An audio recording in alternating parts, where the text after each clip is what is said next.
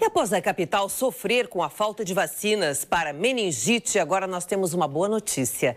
A Secretaria Municipal de Saúde volta a oferecer a vacina meningocócica com a distribuição do imunobiológico para as 31 unidades de saúde da capital. E começou nesta sexta-feira.